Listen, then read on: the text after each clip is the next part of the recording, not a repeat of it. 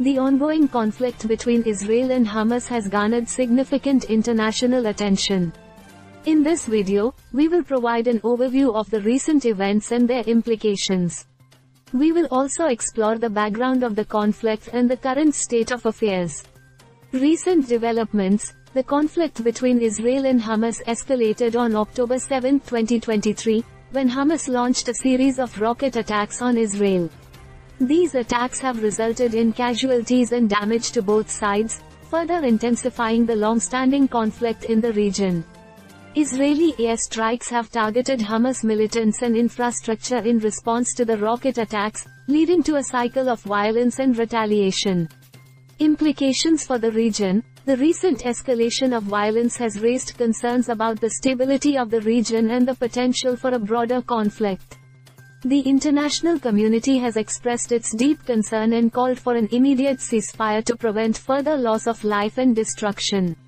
The toll on civilians in Gaza and Israel has been devastating, with reports of civilian casualties and damage to homes and infrastructure. Humanitarian organizations are working tirelessly to provide aid and support to those affected by the conflict. Background of the conflict the conflict between Israel and Hamas has deep-rooted historical and political factors. It is rooted in the long-standing Israeli-Palestinian conflict, with both sides laying claim to the same land. Hamas, a Palestinian militant group, controls the Gaza Strip and is considered a terrorist organization by Israel and several Western countries.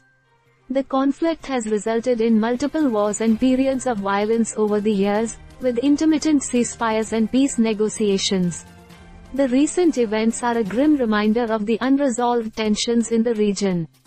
What's next? The international community, including the United Nations, the United States, and other regional powers, is actively involved in efforts to de-escalate the conflict and find a peaceful resolution.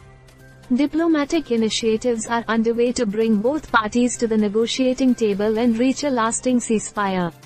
The situation remains fluid, and the path to a lasting peace is uncertain.